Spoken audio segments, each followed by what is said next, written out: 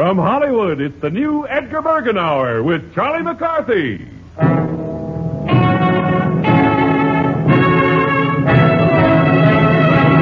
Now, if you say help me, I'll mow you down.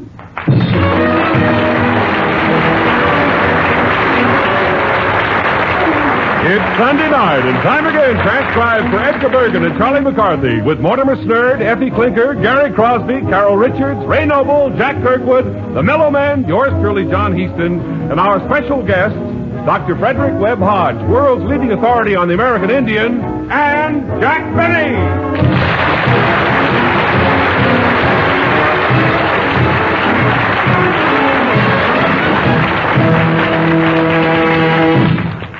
Ladies and gentlemen, this past weekend, Edgar Bergen attached his trailer to the back of his car. And he and Charlie were off to Palm Springs for a glorious and inexpensive vacation in the sun. As it turned out, it wasn't as inexpensive as they thought, but to see what happened, let's look in on Edgar and Charlie as they approach Palm Springs with Edgar behind the wheel.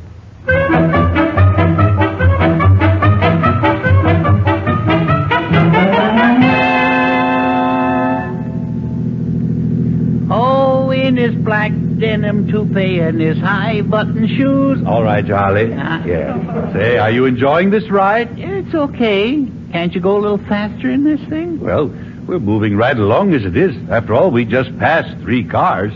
Yeah, but they were parked. Oh, I see. Say, you better check our trailer back there. How does it look? Well, it looks a little like Elsa Maxwell doing a rumba. Is there... Ah, speed it up, Burger. Step on it, little. huh? well, now, take it easy. We're entering Palm Springs now. Oh, look over there. Somebody left a golf club lying in the sand there. Really, that's Frank Sinatra taking a sunbath there. Oh, Oh, you're right. Well, now, we better keep our eye open for this Blue Skies Trailer Village. yeah, You know, that's the one that Jack Benny is part owner of. yeah. And you know, he promised to give us a very special rate. Jack did? Yes. I know what you're thinking. He is he is a tough man to tangle with over Monday. yeah, you both throw pennies around like manhole covers. Yeah. All right. Hey, Now, now, now, that must be Jack Benny's trailer over there. Look at the sign in front. Free water, free electricity, and also free violin lessons. Uh, at slight extra charge. Yeah, yeah, yeah. That's the place, all right. I'll pull in. All right. There we go. Ah, well, here we are, Charlie. Now, there must be a parking attendant. Oh, here's one coming towards us, yes. Uh, park your car for two bits, sir. Jack Benny.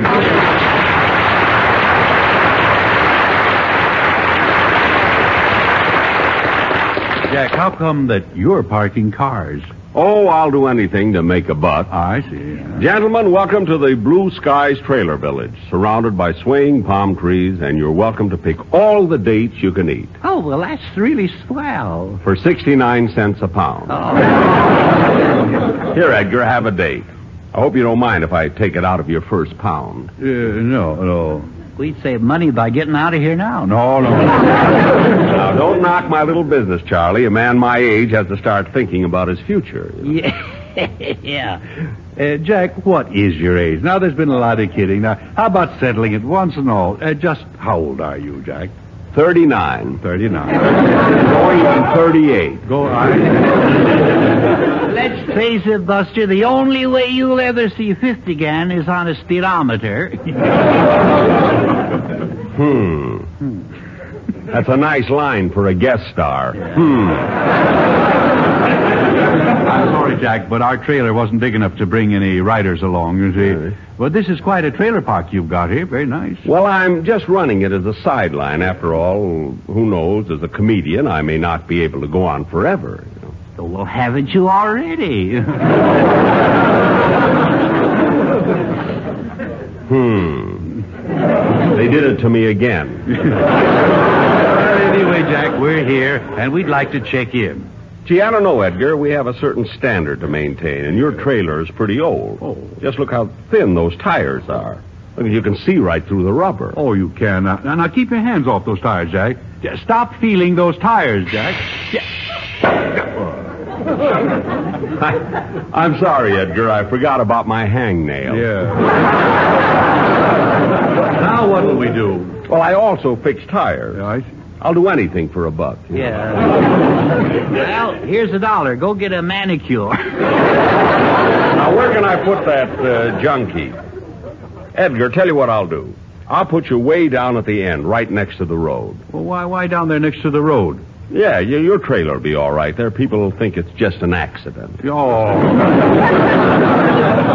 bad. Oh, come on, Bergie. Let's take the spot here and check in. Come on. Uh, Well, no, okay. Now, uh, where's the desk clerk? Desk clerk? Care to register, sir? you mean you? I told you, I'll do anything for a buck. Yeah. Now we're saving on actors this way. Jack, now you'd better tell us. Now, uh, what are your rates? Uh, Oh, you'll find me very cheap. Yes, we have. Yeah, all right. He's a regular naughty pine Fred Allen. I threw that in myself, you know. They had me down for another hmm. Jack, you, you still have avoided uh, telling us what your rates are. That is special rates for friends. Well, what would you say to nine dollars a night? Now, oh, come now. You wouldn't charge that much to poor little old me, would you? Certainly. That's how I got to be rich little old me. Yeah. well, I won't pay a cent over two dollars, so I guess the deal is off then. Now wait a minute, wait a minute. That was that was my first offer. Yeah, well, you're crushing my carnation. No, all right. How about eight seventy-five? Two twenty-five is as high as I'll go. this is the battle of the Titans. Two tighter Titans I've never seen either. Oh, Now eight fifty, not a penny lower. ridiculous. Three fifty. Eight twenty-five. Three seventy-five. That's Eight, eight dollars. Four dollars. Seven seventy-five. Oh, Jack, what are we arguing about? Blood, that's what you're arguing. I'll tell you what, Edgar. I don't want to quibble over a few bucks. Let's settle for five dollars. Oh, okay, that's a deal, Jack. Ladies and gentlemen, the preceding scene starring Edgar Bergen and Jack Benny was from the picture Money is a Many Splendid Thing. I'll trade you that for the hmm. Yeah. You did better with hmm. well, we're all set then, aren't we? Yeah, it ought to be fun staying here at the Blue Skies Trailer Village, especially with you, one of the owners, Mr. Benny. You know, you're such a popular celebrity a- and such a good comedian. Oh, you're just saying that. No, no. If I was saying it, you wouldn't come out so good. I wonder what Don Wilson would charge to sit on him. Yeah. Jack, how about showing us around the place a little bit? Sure, sure. I'll be glad to. All right. Now, uh, over here is our swimming pool. Oh, of course, yeah. you know there's a 25 cent service charge per person if you use the swimming pool. Well, that's fair enough. It's reasonable. When there's water in it, it's a dollar.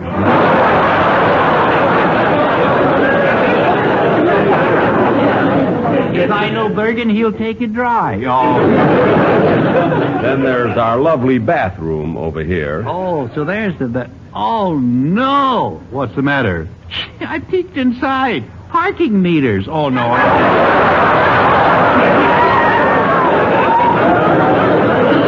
That time they didn't even give me hmm.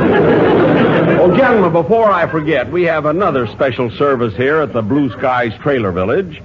For a very slight extra charge, you're furnished with entertainment. Uh, what kind of entertainment, Jack? Oh, it's the best. Really outstanding. I go from trailer to trailer playing requests on my violin. He'll do anything for a buck. Yeah. Let me ask, how much does it cost not to have you play your violin? You couldn't afford it. I... Maybe we just ought to buy earplugs. Well, I'll show you how everyone here in the trailer park feels about my violin playing.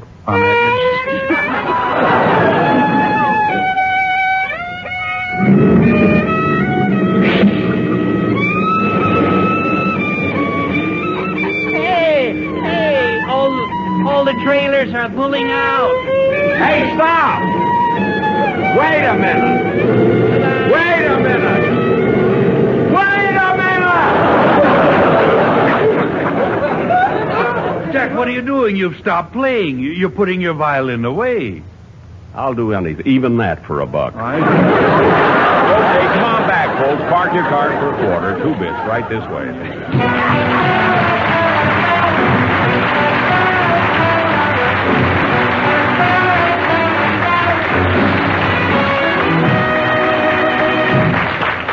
Well, Charlie, wasn't it wonderful of Jack Benny to drop in on us? Yeah, but that, that business of him being only 39. Well, we can't question it unless we have positive information. well, I got it. Yeah? While he was in there, I took a peek at his driving license. Oh, you did? Yeah. What did it say? It said for covered wagons only. Oh, no. That's ridiculous, Charlie. Hello, Edgar. Hiya, Charlie. Well, it's Gary Crosby.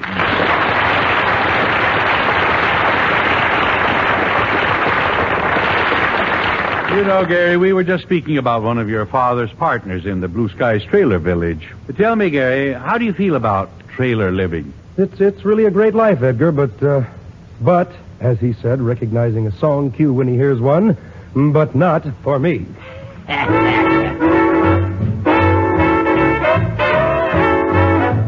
They're writing songs of love, but not for me. A lucky stars above, but not for me. With love to lead the way, I found more clouds of gray than any old Russian play could guarantee. Well, I was a fool to fall and get that way. Hi ho, alas, and also lack a day. Although I can't dismiss the memory of her kiss, I know it's not for me.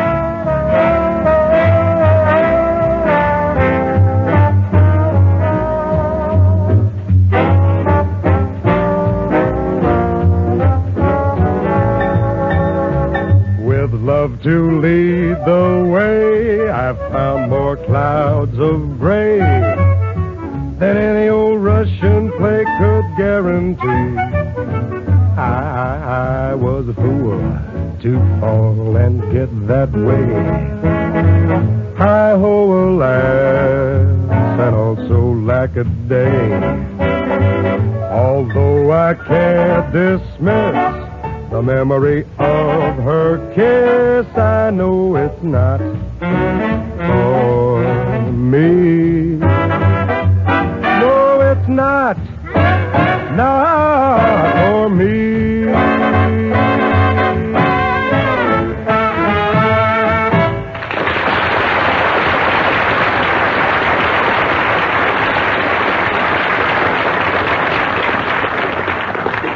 And now, ladies and gentlemen, here is where we take care of you do-it-yourself fans as we proudly present our genius of all trades, Professor Kirkwood and his do-it-yourself department.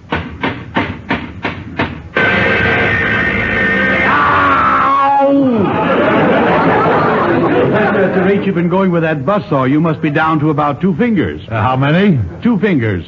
I don't mind if I do. No chaser, please. Professor, what is your subject for tonight? Tonight's subject will be how to make money at home with my print it yourself kit.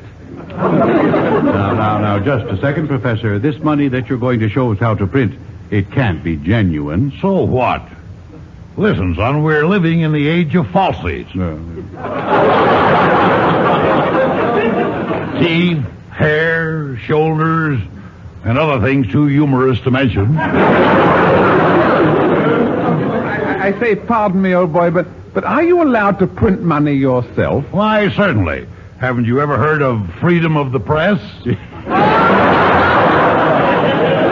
Now, now, now, just a second. Now, let's stop this foolishness. Kirkwood, I'm sure, I'm positive it's against the law to print real money. Well, that's where we play it smart. Oh. We don't print real money, we just print counterfeit money. Oh. Kirkwood, you, you should be ashamed. Don't you, don't you ever think of anything except money? Well, sometimes I think about women. Oh? what kind of women? Women with money. Oh, oh, I got it covered in gold. All I can say to you is this money alone does not bring happiness. No, but it sure makes your unhappiness awfully present. No, no, Professor. I'm sorry. I must disagree with you. There are no shortcuts to easy money. Remember, real money doesn't grow on trees. Yours did, boy. oh,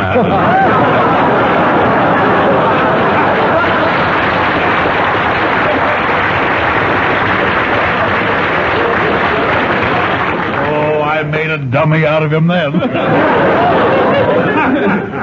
Uh, no, I say, Kirkwood, old chap, look, is this money you print any good? well, uh, let's put it this way. Uh-huh. It's like the Hollywood freeway. Dangerous but passable. Which reminds me, Ray, I could use you. Do Uh-huh. you think you could pass a $20 bill? Well, certainly, old boy, if it'll pull over to the right.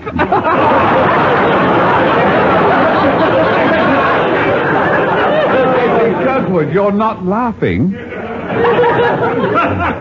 And that's the way it's going to be. Now, don't, don't let him talk you into a thing, Ray. I wouldn't touch his counterfeit money with a 10-foot pole. Now, how about a nine-foot Romanian? Oh, turn the fan on, Mother. I'm hot tonight. Well, I don't want to cool you off, but where did you learn to print money? Oh, this uh, money-making skill runs in my family. Oh, it does, does it? Yes, my father taught my brother how to make hundred-dollar bills, and now he's got life with father. And how about you, Kirkwood? Have you ever been in jail? Have I ever been in jail? I've been in stir more often than the paddles of a mixmaster. well, well, you've certainly got the bowl for it now.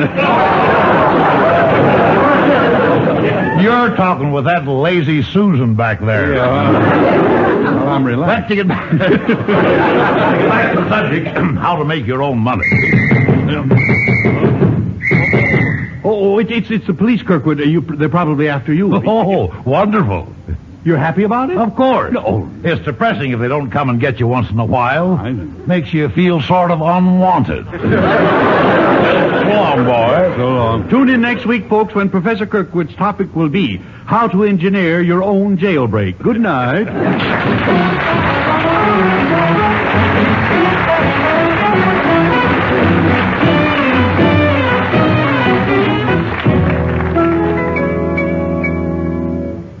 Ladies and gentlemen, I'm extremely happy to be able to introduce to you once again our outstanding vocal group, the Mellow Men.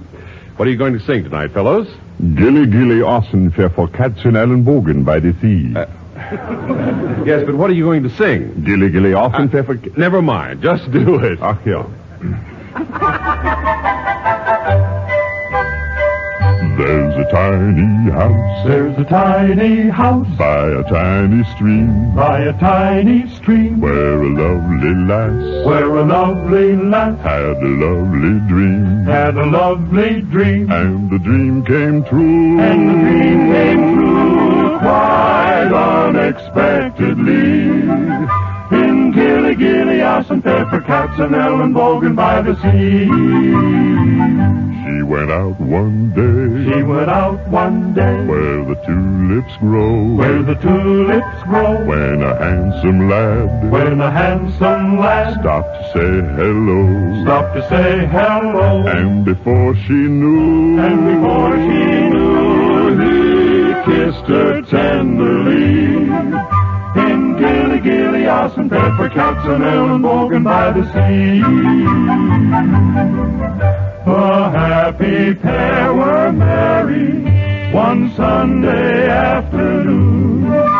They left the church and ran away to spend their honeymoon a tiny house. In a tiny house. By a tiny stream. By a tiny stream. Where the lovely lass. Where the lovely lass. Had a lovely dream. had a lovely dream. And the last I heard, And the last I heard, they still live happily. In Gilly Gilly House and Pepper Cats and Ellen Ellenbogen by the sea. In gaily, gaily, Gilly, Gilly Gilly House and Pepper Cats and Ellenbogen by the sea.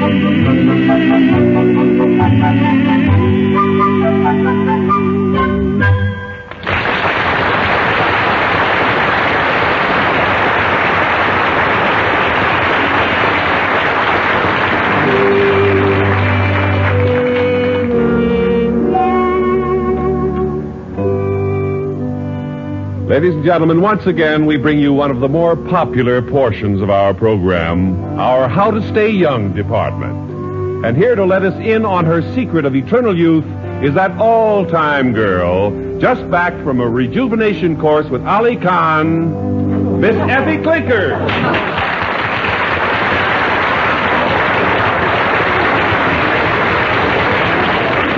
Howdy. Oh, I may be apart, but I'm young at heart. Oh, And you look lovely tonight, Miss Clinker. Oh, yes, I believe in growing old gracefully. Yes. Or better still, disgracefully. Well, I think it's wonderful how you've kept your um, youth. yeah. How did you know about George? No, I didn't.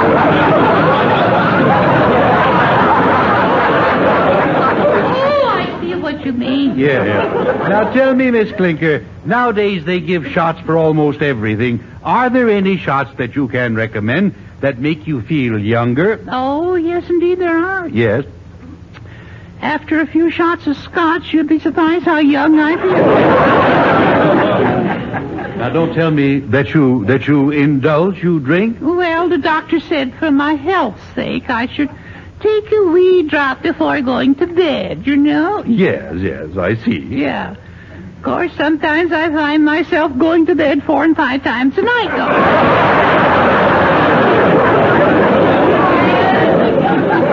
yes, indeed, I really sleep tight. Whoop-de-doo. All right. Well, that will do. Right now, it's time to answer some of your mail. No oh, good. Yeah. Well, hurry it up. It's getting close to one of my bedtimes. Yes, I know. the first letter is from Minneapolis. Oh, it's nice up there. Yes, uh, here it is. Dear Miss Clinker, I am 80 years old. Would it keep me young if I married a 20 year old girl? Sonny, it would probably kill you. It's like buying a steak when you haven't got any teeth. All right, next letter. Uh, here's one from a listener in Cleveland. My dear Miss Clinker, I am 35 and I'm going with a used car salesman. Should I marry him? Why, if you love him, what if he is used? No.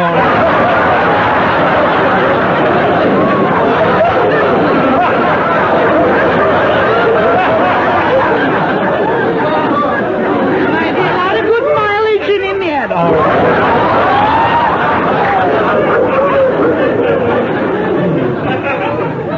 My dear Miss Stinker, no, Clinker. what is the most important rule in staying young? Besides lying, that is.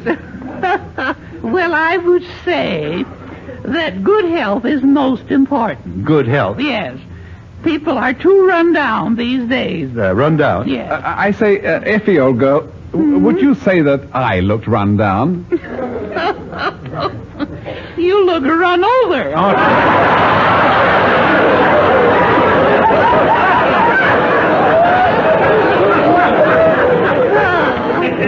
Please, Effie, you've still got one more letter to answer. Dear Miss Clinker, do you ever wear a sweater to attract men? Me wear a sweater with my figure.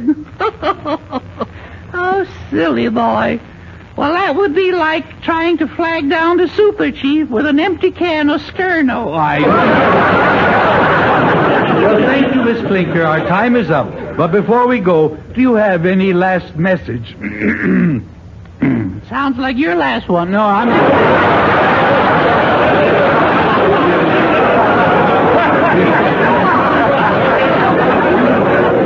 I don't know what's the matter with me.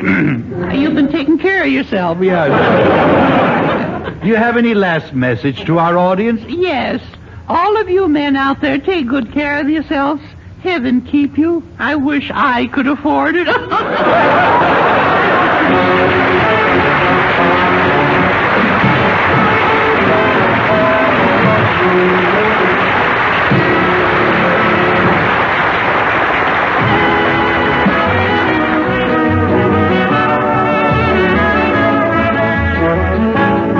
The Edgar Bergen Hour, transcribed with Charlie McCarthy, Mortimer Snerd, Gary Crosby, Carol Richards, Jack Kirkwood, the Mellow Men, and Ray Noble will be back after station identification.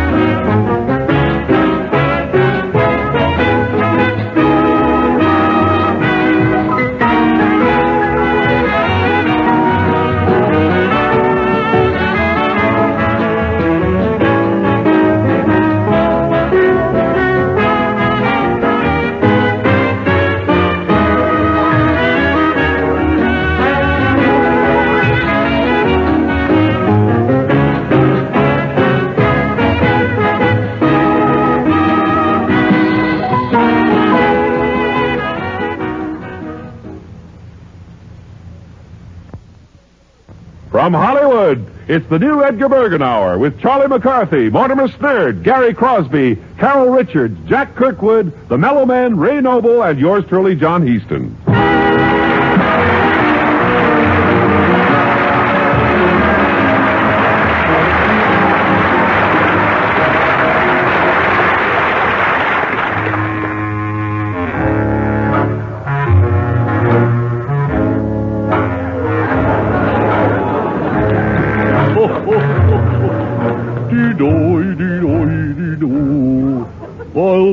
Smile again. oh, like I snowed before.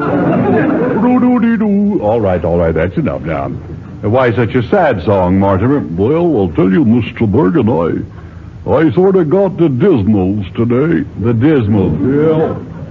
I'm sort of down in the Humpty Dumps. I see. Why? Well, I'm kind of worried. Oh, I see. Worried about what? Hmm, I see. Worried about what? Yeah. Oh, about what? Yeah. well, I'm worried about um, things back on the farm, mostly. We got 16 new mouths to feed now. Oh. A lot of baby pigs or chickens? No, it's my Uncle Sorghum and Aunt Busilla. And their kids.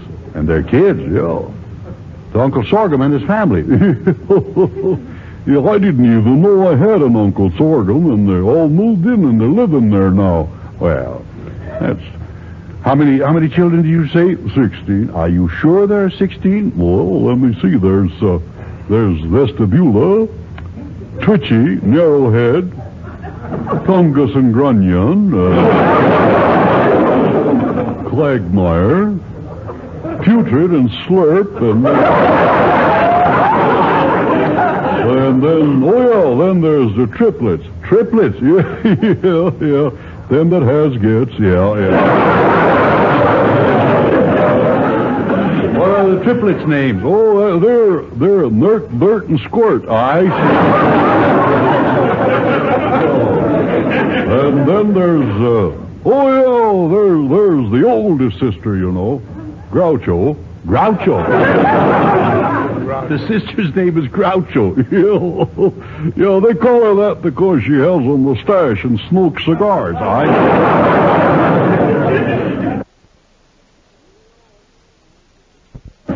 Yeah, that's the way it goes, yeah. Well, that must make things pretty crowded around your house. Oh, they're sleeping all over the darn place. In the kitchen, too. Is that so? Yeah. They don't mind that.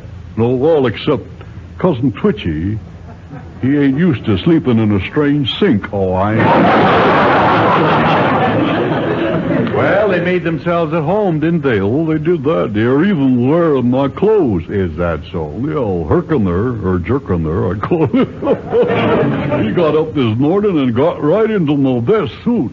Oh, well, now, that is annoying. Yeah, it certainly is. What's more, uh, he didn't even give me time to get out of it first. Oh. Well, I. Mortimer, these people, they don't sound like very attractive relatives. No. they sure made a mess of the house too. I imagine. I didn't. I didn't realize how how dirty the house was until a dog came in and tried to bury a bone in the living room. Is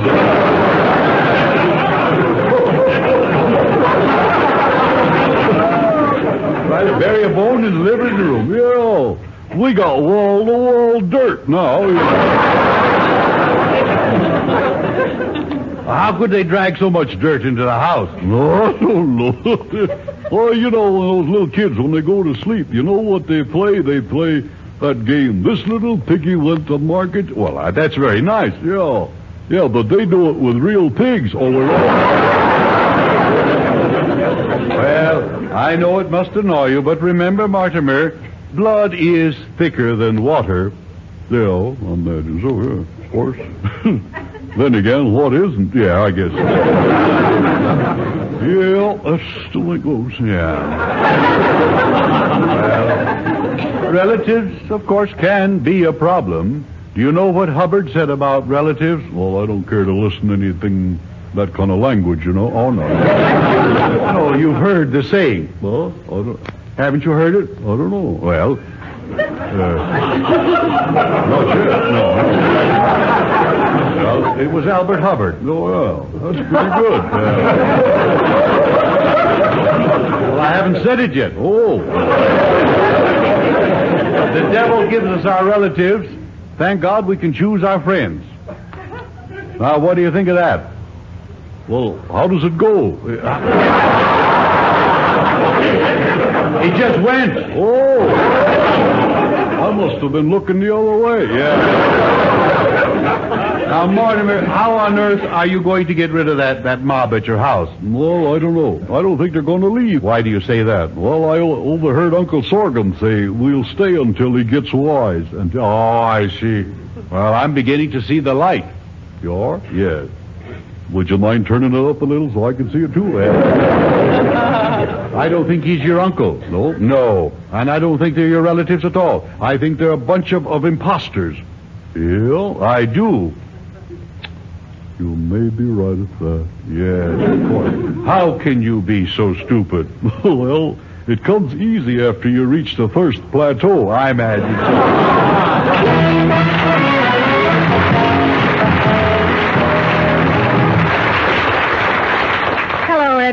Well, it's Carol Richards.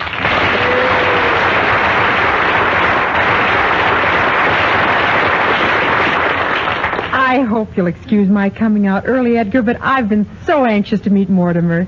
Oh, he's really cute. Oh, Mortimer, don't tell me you're a shrinking violet. well, not exactly, no. I'm, I'm more of the stinkweed type. Oh, come on now, Mortimer. Don't be afraid of me. I won't bite you. you wanna? Mm-mm. No teeth, huh? I think you better sing, Carol. yeah, go ahead.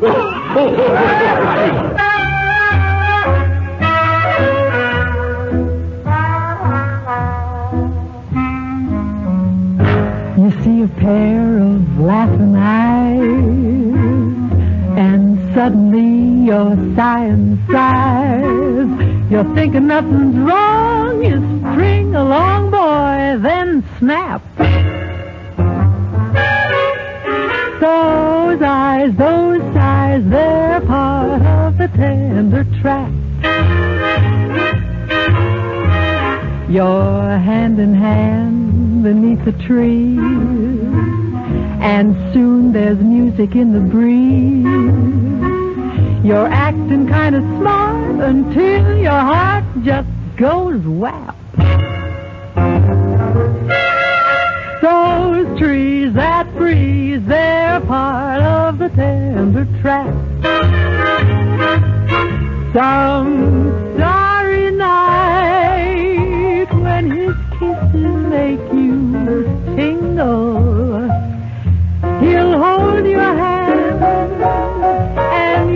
hate yourself for being single. And all at once it seems so nice. The trees are throwing shoes and rice. You hurry to a spot that's just a dot on the map.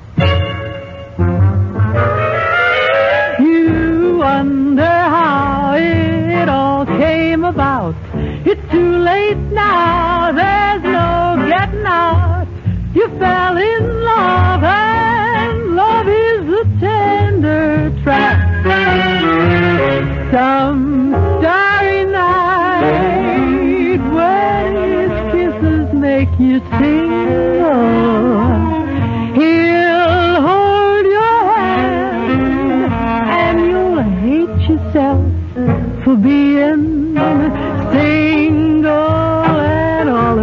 it seems so nice. The folks are throwing shoes and rides.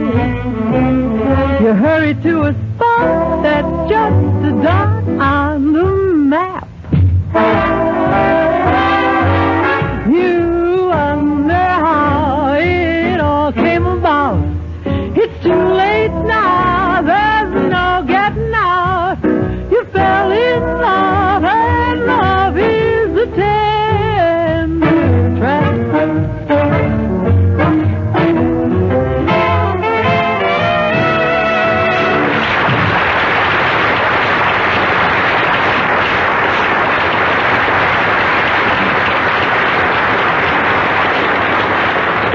Now it is time for our Meet the People department. Our guest tonight is one of the foremost ethnologists in the United States, and his name is known the world over as one of the outstanding authorities on the American Indian.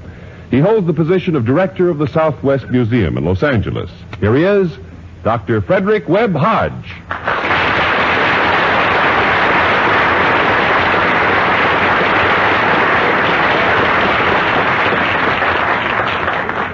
Good evening, Dr. Hodge. Now, this is a real pleasure to have you with us tonight, and I realize it may not exactly be good form to inquire into a person's age. You know, Jack Benny seems to dislike such probing, but I confess that I'm curious about you.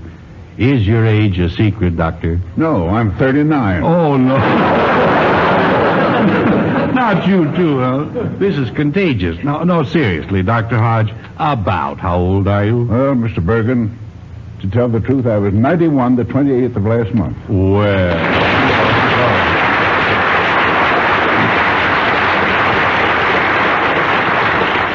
Ninety-one years. Well, isn't that wonderful? And how did you celebrate your birthday? Well, my friends gave me a party and we really had a grand time. Oh, yes. Uh, Dr. Hodge, as the world's foremost authority on American Indian, You've probably devoted a great portion of your life to the study, haven't you? Well, as a lad in Washington, D.C., I became interested in Indians, and I never have outgrown that lure. It's been most fortunate, for to love one's work is one of the secrets of longevity, I believe. Yes. Well, now, while we're on the subject of longevity, you, you certainly should have some ideas on that. What is your thinking about, oh, smoking and liquor? Well, for years I've smoked a pack and a half a day, and I enjoy an occasional drink. But my friends have always insisted I should indulge only in moderation if I want to live to a ripe old age. Mm-hmm. And are your friends as chipper as you? Oh, most of them have passed on. I... They probably didn't take their own advice. Well, so you've given up alcoholic beverages then, haven't you? Not altogether. I still like a nightcap before retiring. Ah. I hope you're not like Effie Klinker. You don't find yourself retiring two or three times a night, now. Oh, no. One old fashioned is quite enough for me. And undoubtedly you subscribe to getting ten hours of sleep per night. I prefer eight hours sleep, but can get along on seven.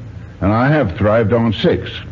When I was preparing the handbook of the American Indian, it was not unusual for me to sit up doing research, writing, reading proof until two or three o'clock every morning. This lasted for 11 years. Well, you certainly do contradict all the rules I've ever heard laid down for longevity. Yes. Well, maybe so. But my opinion, there's nothing more important than leading a normal life. If I have a formula, it can probably be summed up as happy work, happy friends, happy family. I'm most fortunate being married to a charming, wonderful woman. I have good friends, and my life's work has been one I love. Mm-hmm. And you mentioned that you you've been interested in Indians since you were a boy. How did you happen to make it your profession? Well, I became field secretary of the Hemenway expedition in 1886. That was the first organized archaeological expedition into the Southwest. And on the way, did you happen to pass Jack Benny in a covered wagon? No, but the expedition was a great success. And after my return to Washington, D.C. in 1889, I joined the Bureau of American Ethnology of the Smithsonian Institution. well, now, what about the famous Hawikuh expedition that you organized? Well, under the auspices of the Museum of the American Indian in New York, we made uh, expeditions to excavate the Hawikuh ruin in New Mexico, which was identified as one of the so-called seven cities of Cibola. That is, of the Zuni Indians of old. I see. Now, in conducting these excavations, just what do you look for? Uh, what is the index of the culture of the people? Is it the things they've left behind, I suppose? Well, primarily, in most instances, yes. However, the real test of the Indians' culture is not always discernible in the material things they leave. The Iroquois, for instance, left very little, yet they had reached perhaps the highest degree of culture than any other Indian tribes of, the, of uh, North America, north of Mexico. Well, in what way would you say the, did the Iroquois exceed that of other Indians? Well, in a great variety of ways. One of which was the freedom enjoyed by their women. They had women's suffrage, and bear in mind that was many, many years before our own women were so privileged. Now, that is really surprising. Now, did the Iroquois women ever exercise their, well, what shall we call it, voting rights? Uh, yes, indeed. The men could not even go to war without permission of the women. That'd be a good way to eliminate war. By the time the women get through talking it over, the crisis would be over. or they could just send the women. Dr. Hodge, uh, you are now director of the Southwest Museum here in our city, isn't that right? Uh, not exactly. I have been director of the museum for 23 years, but at the close of January, I took a sabbatical leave. I see. To sort of rest up a little bit, huh? Well, of course not. I took the leave in order to devote my full time to research for the Department of Justice Indian Claims Commission. In other words, as my mother used to say, it's like stopping work to haul timber. In other words, you're busier than ever now. Oh, yes. We are endeavoring to settle the Apache Indians' suit against the United States government for land said to have been taken from them, uh, thus involving large parts of the Southwest and to run into many millions of dollars. Sounds like a, a very important job. Well, Dr. Hodge, I, I want to thank you for being our guest tonight. A man like you who is 91 years young is certainly an inspiration to the rest of us. Thank you, Mr. Bergen. And it's getting a little late, so if you'd like, I'll drive you home after the show. Oh, there's no hurry to get home. Let's have a nightcap. Well, let's live it up. And thank you again, Dr. Hodge. Thank you.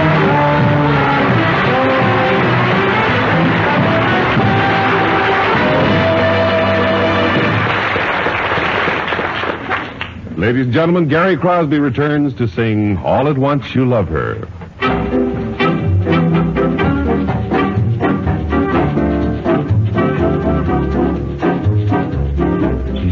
Start to light her cigarette, and all at once you love her. You've scarcely talk, you've scarcely met,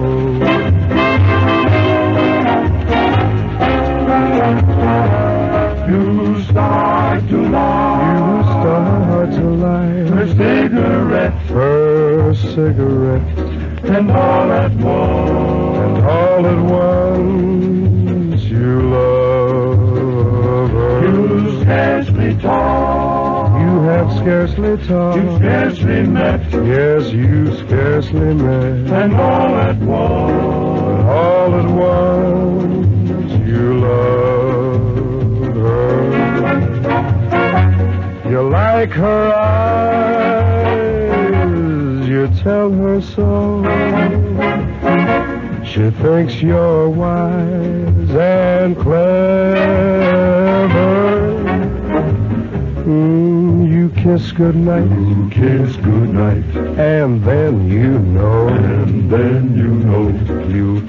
Kiss goodnight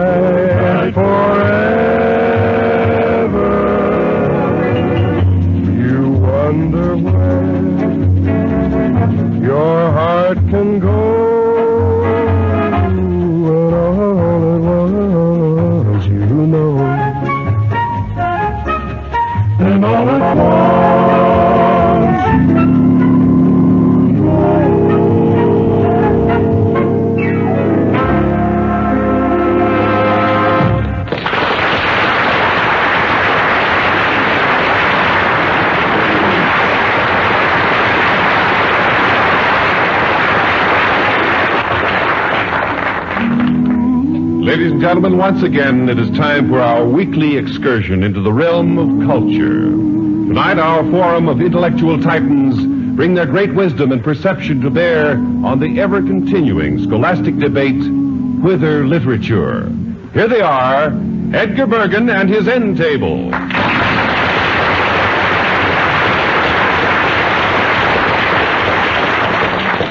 Thank you. And good evening, panel. Oh, how you, kid? Crazy, man. Yeah, yeah, yeah. Good evening, Professor Kirkwood, Professor Noble, and, well, if it isn't Mortimer Snerd. Well, if it isn't, the stork played a dirty trick on the mother. That'll be enough. That's exactly what my parents said when they saw me. Uh, Gentlemen, our subject for tonight is whither literature. Now, to start the discussion, would you like to define the meaning of literature? I, I say, uh, you chaps, look, I, I should be quite good on this subject, really. You know, I was born in a library. No, no, you were actually born in a library. Oh, yes, yes. How is that possible? Well, Mother kept trying to tell Dad, but the librarian kept saying, shh.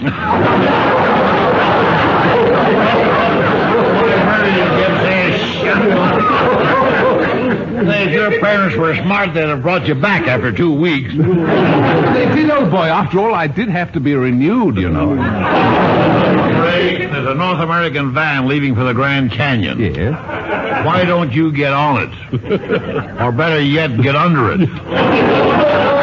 Please, please, that will do. Uh, uh, Professor Kirkwood, what would you say is your favorite book? Well, it used to be Louis over on Third Street, but the cops grabbed him. No, no.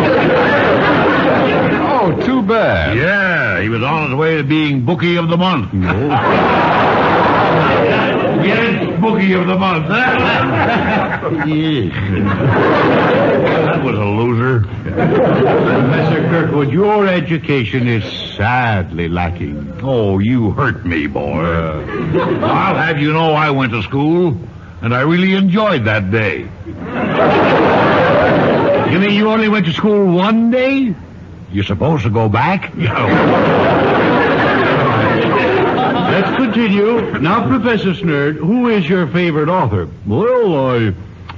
Oh, I think uh, I'd say offhand. Uh, oh gosh, I. Uh, oh, I know it as well as I know my name. Um, uh, yeah, it's uh, more, more. No, no, that is my name. No, eh. no, no, Eh, no, he's dead too. Uh, let's see, let's see. Uh, let's see.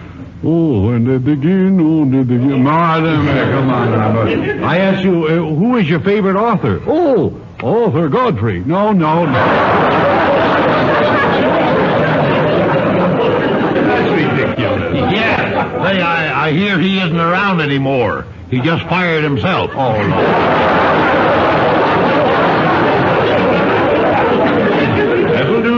Now, I'd like to get one sensible answer from this panel, if I'm not being too optimistic. Professor Noble, do you know Dickens' works? No, but I'm glad he got the job. Over No, there. no.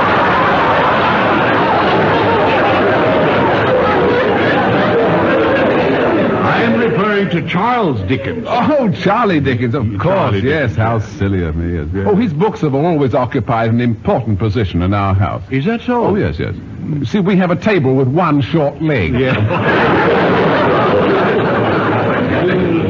Th- This is hard to believe. Haven't you read any of Dickens' famous classics? You know you might enjoy Little Women. Oh, I've enjoyed quite a few of them. But we're still on the subject of literature. I think I changed it for the better. This is awful. Our modern writers uh, have been compared unfavorably with the great 15th and 16th century authors, such as Shakespeare, Chaucer, and Bacon. Now, Mortimer.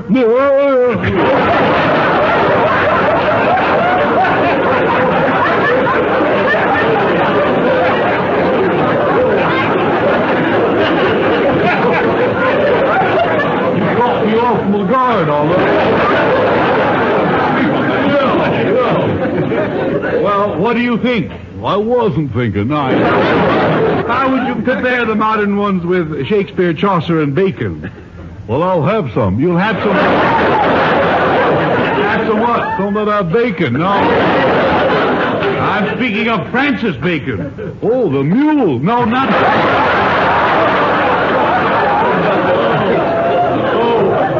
This is Bacon the man. Oh, well, count me out. I ain't no cannonball. I shouldn't have asked. Gentlemen, this is a discussion on literature.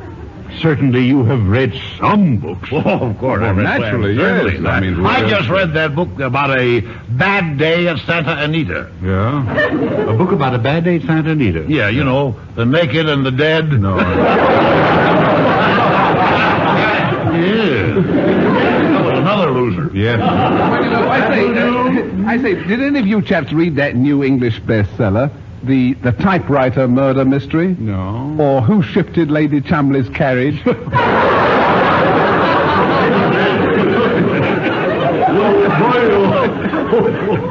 My favorite is one of those Mother Goose stories, you know, like Little Boy Blue can blow your nose, one of those.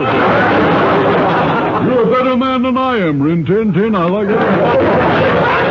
My wife again. Now, please, gentlemen, please. I say, chaps, the book I'm waiting for, uh, just between ourselves, is the new Kinsey report. Yeah? Oh yes, this one's on the love life of the mashed potato.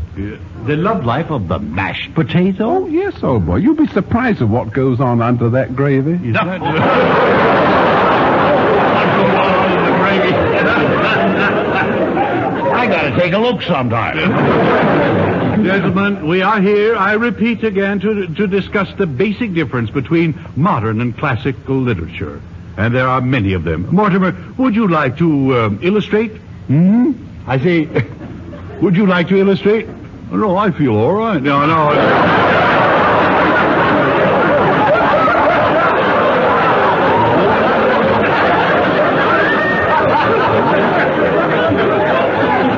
Maintain that we're taking this subject too lightly. Now you know that Socrates, what he said about the importance of literature. No, I don't think I was listening. Well, I, he said it before you were born. Well, I know I wasn't listening. For your information, Socrates lived many years ago in old Greece. I say he must have been a rancid old duck.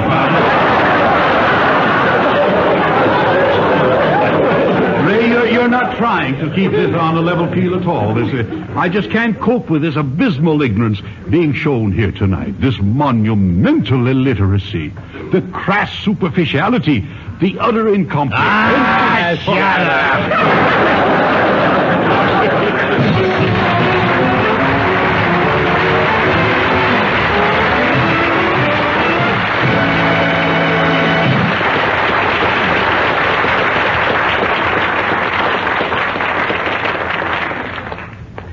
Charlie, I'm delighted to see you in such amenable mood today. Uh, which a bull mood? Uh, well, you know, easygoing, easy to get along with, likable, gentle. Well, it's this way, Bergen. A, a gentle act, a gentle word makes life pleasanter. Just like it says in the song. Uh, listen. Gentleness is welcome. You like that? I do, Charlie, because it's true. True not only of people, but of cigarettes. That's why for months all Philip Morris smokers have enjoyed a new cigarette made gentle for modern taste. Born gentle, then refined to special gentleness in the making, this new cigarette comes as a wonderful surprise to veteran smokers, gives today's young smokers just what they require in a cigarette. Enjoy the gentle pleasure, the fresh, unfiltered flavor of new Philip Morris. You'll find it in a smart new red, white, and gold package. Have a gentle Philip Morris made gentle for you. Enjoy a new Philip Morris, the gentle cigarette. And now, here is Edgar Bergen. And now it's time for another bit of sage advice from our rural philosopher Mortimer. And here he is with Snerd's words for the birds.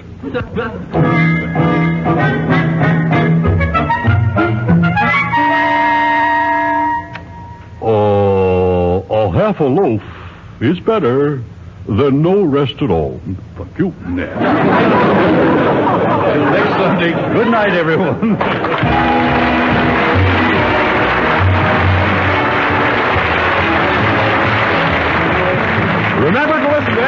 Bergen with Charlie McCarthy, Mortimer Snerd, Ray Noble, and the entire ensemble next Sunday at the same time.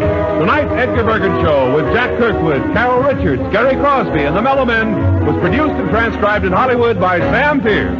Script by Cy Rose, Hilda Black, and Zeno Klinker. This is John Heaston speaking.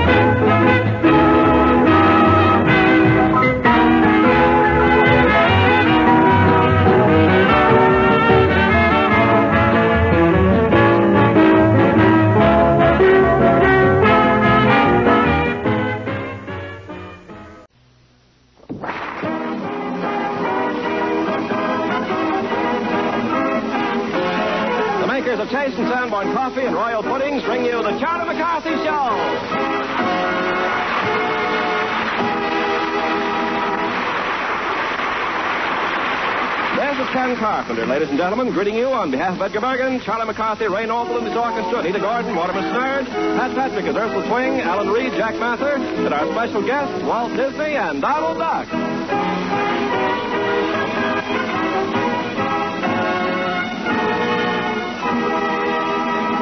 Tonight we come to you from Pasadena, California, where we've just seen a preview of Edgar and Charlie's new picture, Fun and Fancy Free by Walt Disney, which will have its world premiere in New York City on September 27th.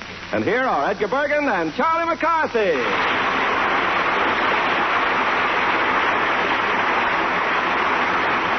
Well, Charlie, what did you think of the picture? Oh, boy, great, great. I give it four bells.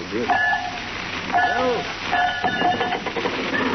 Why, you clumsy butterfingers, you. That man is through. All right. uh, well, I love the title, Fun and Fancy Free. You'd love anything that's free, Bergen.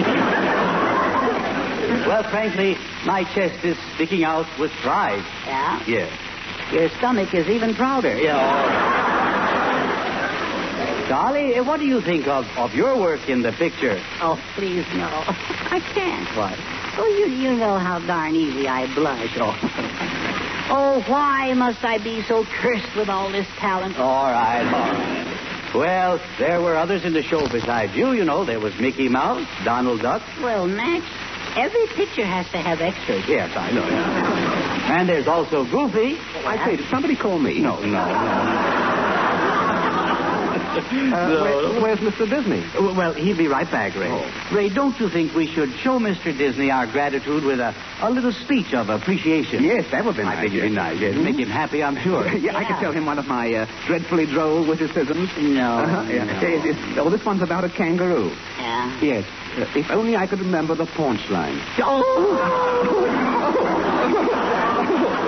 Oh, you get it.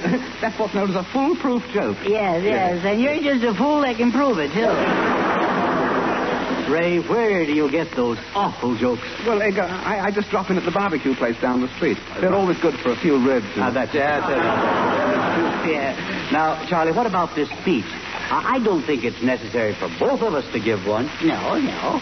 So I think I'm going to let you do the talking for me. Uh, me do the talking for you? Yes. Well, now that's an interesting switch, isn't it? Yes. Now, let me hear what you're going to say. Now, when you speak, you, you must speak from the diaphragm. Uh-huh. I have spoken. And remember, you must be convincing. The best orator is one who can make his men see with their ears. Yeah? Yes, yes. Now, when I talk, They listen with their noses. no, no. Well, go on with your speech, Charlie. Well, how is this? Uh, uh, let's see. Uh, uh, fellow convicts. No, no, no, no. I thought I was in school. No. oh, there you are. Edgar. Well, Walt Disney.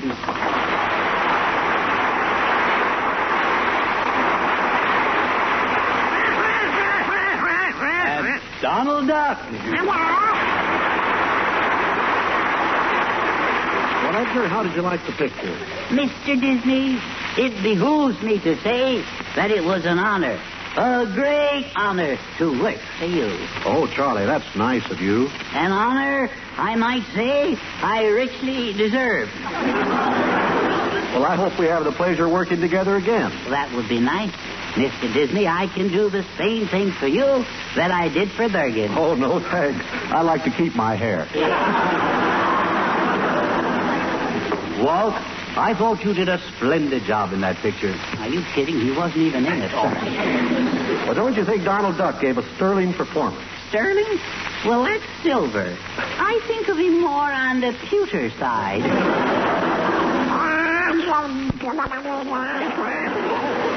Well, didn't you like Donald in that role? The, the only role I'd like him in is a casserole. Look at the way he waddles. Reminds me of Bergen coming out of the shower. Oh, Oh, now, Donald, I'm sure that deep down inside, Charlie likes you very much. Oh, what? Well, now let's not start that. Uh, don't you don't you have something nice, Donald, to say to Charlie?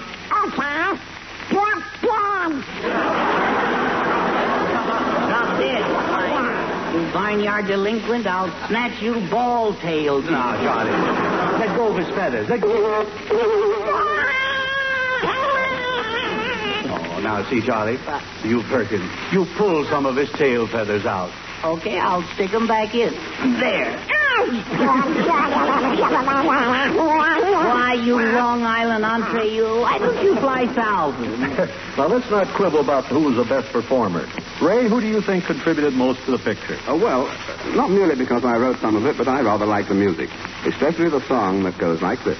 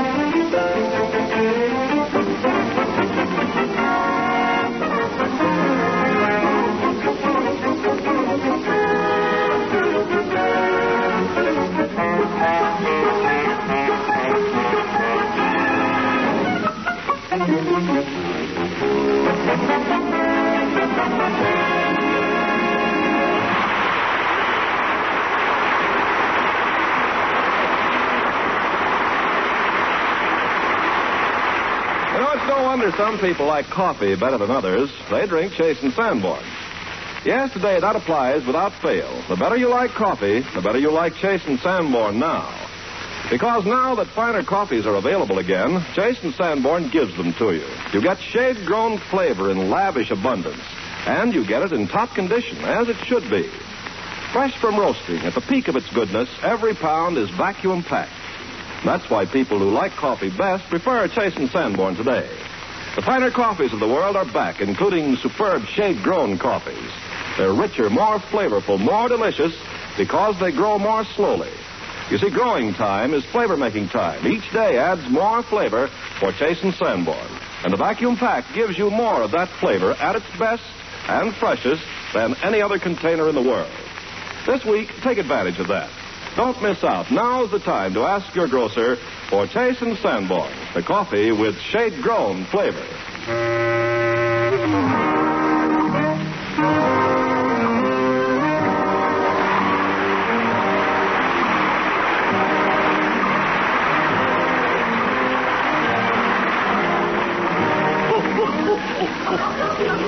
Oh, chibba, chibba, chibba, chibba, Cuckoo-la-gumba, cuckoo, cuckoo. Well, Mortimer, here we are again. Oh, where? Right here. Oh, yeah. Well, who? Well, you and I. Oh, yeah, them, yeah. Yep, well, that's the way it goes. Yeah. It's just like I always said, uh, always said, you know. Yes? Yeah. Sure. You said what? Oh, I said, um, I've always said it. Uh, Now, what is it? uh, see, I don't know, you know. I guess I don't say it no more. I... You saw the picture. Were you satisfied with your role? Um, hmm? Did you enjoy the picture? Well, but it sure was scary. Scary. Oh, Mortimer, only very stupid people are frightened by a motion picture. well, Yes. well, I'm pretty sure I can qualify. Yeah. I suppose it was the big giant that frightened you. No, no, it was that other fellow there with the pigeon-toed eyes.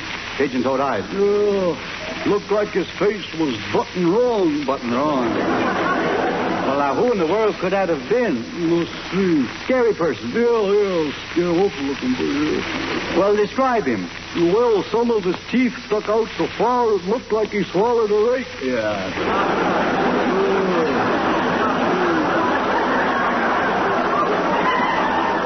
Blonde hair, cross-eyed, and he had buck teeth.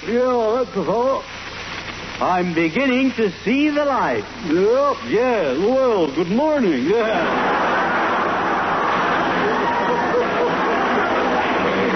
I'm sure you know the person's name. No. Well, now think. No, no, I up. Well, it was Mortimer Snerd. Well, give me a better hint than that. Mortimer, you were in the picture. Oh. No.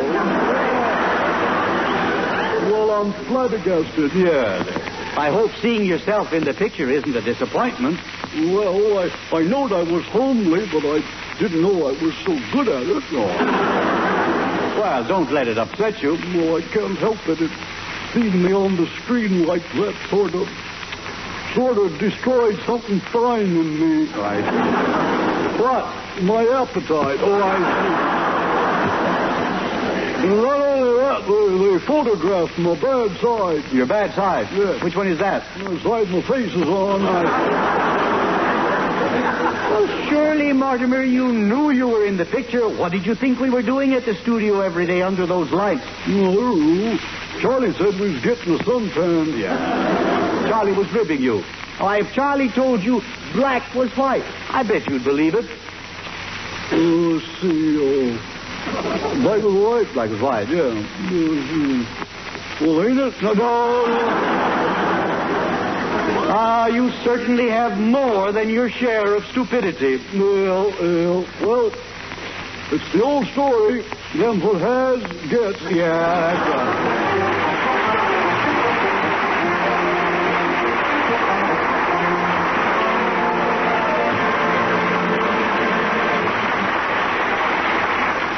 Ah, Mortimer, there's only one Mortimer Snerd. Friends.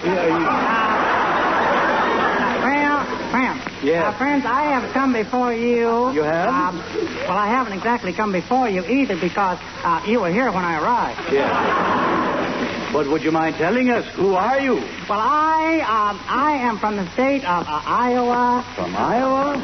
Well, out here, who isn't? Yes, that's right. Uh, but I am from uh, Pinpoint, Iowa. Pinpoint? Yeah. Well, it's really uh, it's really uh, East Pinpoint. Uh, Oh, I yeah. see, yes. A suburb. Yeah. And uh, I understand that you had a showing of the new uh, Walt Disney picture, and Right. it's about Jack and the Beanstalk. Yes, yes. Yes, we did. Uh, what about it? Well, why why didn't you invite me? We were afraid you'd accept. Well, what I want to know, Smarty, uh, well, I, I want you to know that, that I am just plenty hot under the collar. Well, that's good. Yeah. Because you ain't so hot above it.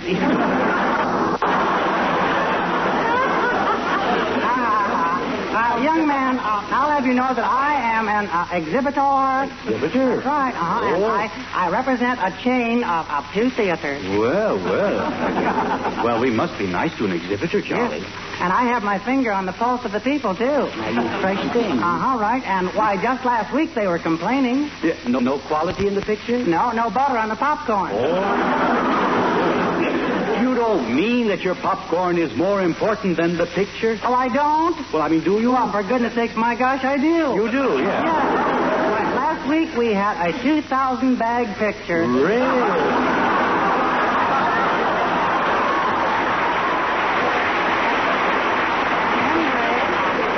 I took my wife uh, to see it, and we ate popcorn all through the best years of our lives. And now you can spend your remaining years drinking water. Yeah. Well, what I want to see uh, is if this uh, Disney picture has uh, popcorn appeal. Popcorn appeal? Yeah. Mm-hmm. Well, I'll be glad to tell you about it. Oh, you will? I'll sit over here. Now, um. The story opens in a beautiful little place called Happy Valley, where everybody was happy. They were always laughing, laughing. always.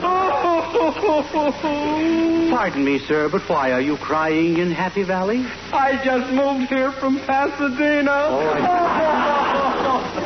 Well, nearly everybody was happy in the valley because of a beautiful golden harp that sang and played. Oh, plunk.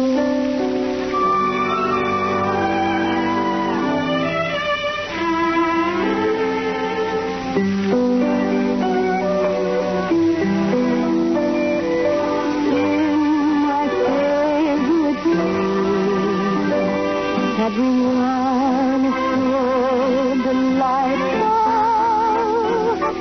No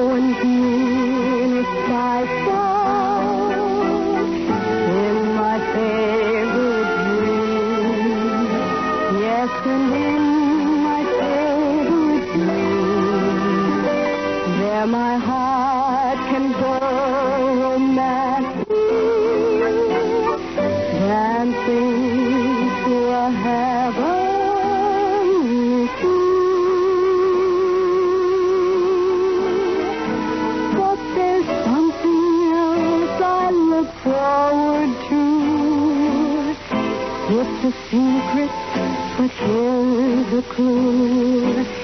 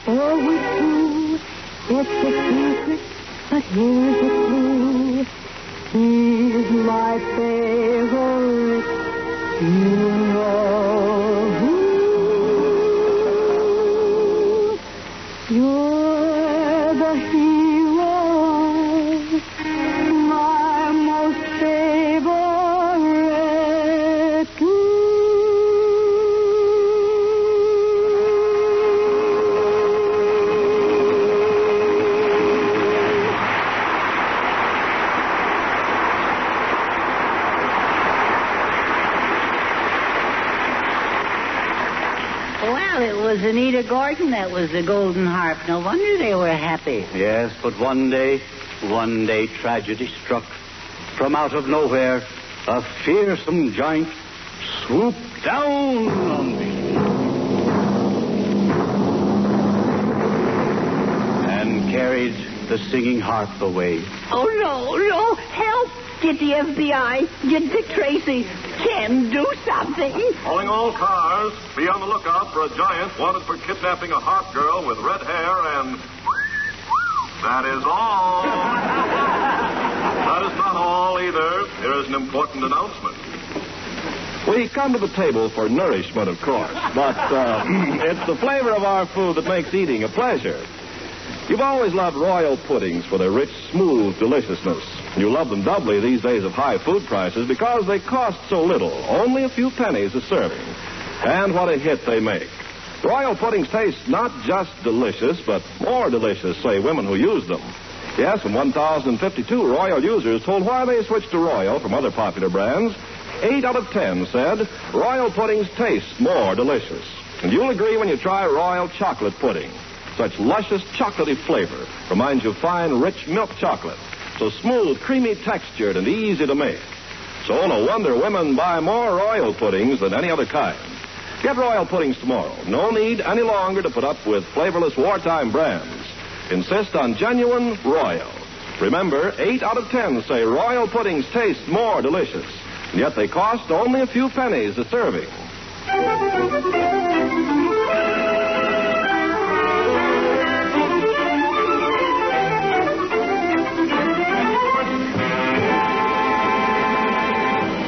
And now to get back to the story. Yeah, well, first wipe the pudding off your mouth. All right.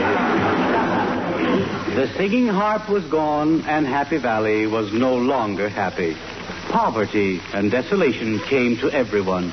They had just paid their taxes. The poor people, the poor people were starving, starving, starving. Bergen, just tell it. Don't ham it, all right? Friends, uh, this is going to be uh, just peachy for popcorn sales. Oh, yes, thank you very much. Uh, and now comes the most tragic and dismal part of the story. I thought we just had it. No, no, no. Yes, we did. I, I've been just sitting there uh, whimpering and sniveling until my eyes are like little tiny red beads. Yes. Well, there were three poor farmers who were desolate. All that stood between them and starvation was their cow. Won't take long to eat through her. Oh, now, now, just a moment. I, I hope you're not going to kill that poor, poor cow. No, no, they won't kill it. They're- They're just going to take it to a used cow lot. Operated by Madman Muntz here. That's true. But the used cow man was out of town, so they talked to his wife, Emma, about a fair deal. Well, what shape was she in? Well, she was the type who should never wear slacks. No, no. Or do you mean the cow? Oh, it was a sad moment. Her big brown eyes flooded with tears as she stood there chewing and drooling. Uh, who, Emma or the cow? Both of them. All right. so when the woman said to the cow, she said, Are you a good milker? And the cow said, Yes, ma'am. And would you favor us with a quart of milk? No. And why not? I'm not in the mood.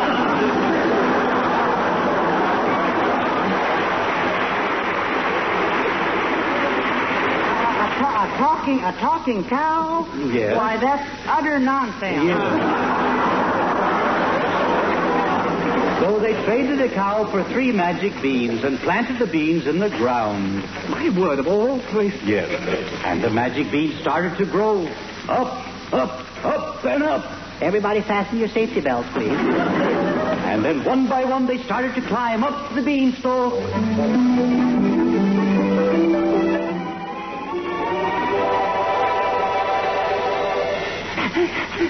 Oh, oh boy, what a climb of that beanstalk. I, I'm all I'm all out of breath. Me too. My toes. My word, look at that magnificent castle. Let's go in. Yeah, let's go in. Ooh, kind of spooky.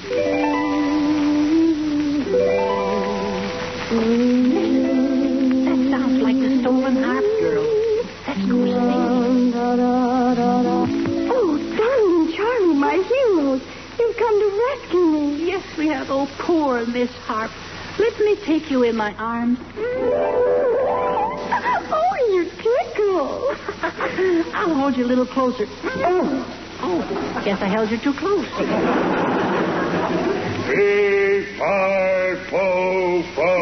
Oh, what's that? What's that? That's the horrible giant. You're not afraid, are you? No, I always have lavender skin.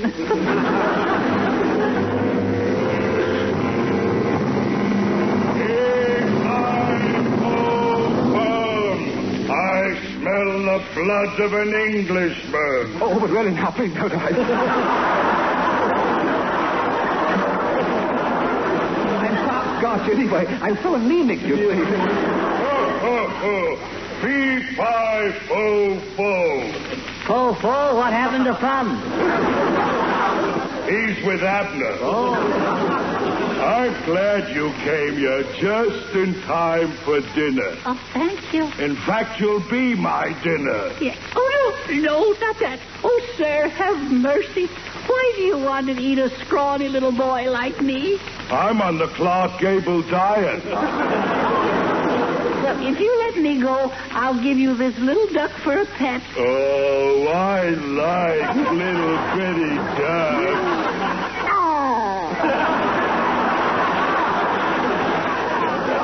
And I have a nice warm place for him to stay. Oh. In my oven.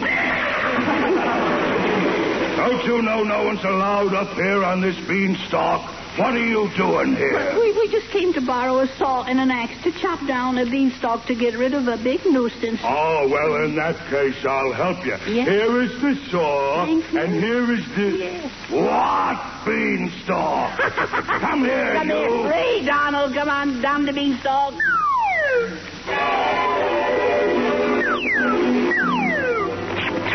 Oh, my pants. Start sawing, start sawing.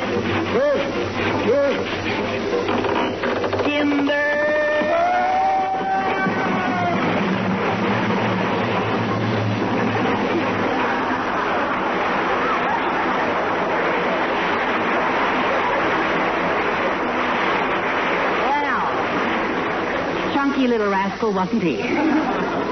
What a story, huh? And what a picture. Uh, yes, but it will it sell popcorn?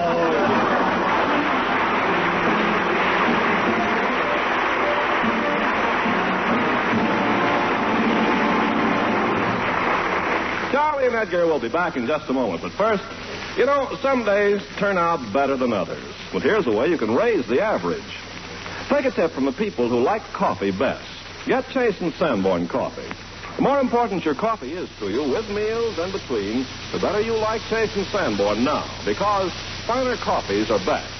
Yes, Chase and Sanborn is richer today, more flavorful, more delicious. Taste its bonus of shade-grown goodness, protected by the vacuum pack. You get finer flavor and more of it, because the whole world's finer coffees are once more available for us to choose from. And preference goes to shade-grown coffees with their lavish abundance of extra flavor. Under an awning of taller trees, these coffees grow more slowly. Each day they store up more pleasure for you, and you get it in Chase and Sanborn in the vacuum pack. Only the vacuum pack can give you so much freshly roasted flavor, because no other container keeps coffee fresh. So don't miss out. This week, remember, now is the time to ask your grocer for Chase and Sanborn coffee.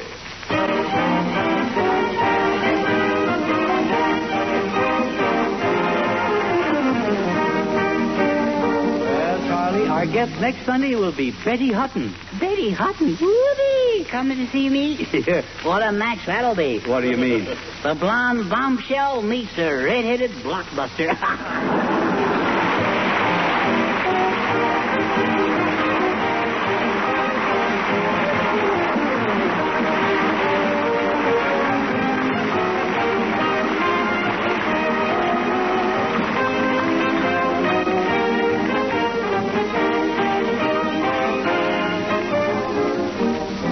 Listen in next Sunday to Edgar Bergen, Charlie McCarthy, Mortimer Snerd, Ray Noble, Anita Gordon, Pat Patrick, and their special guest, Betty Hutton.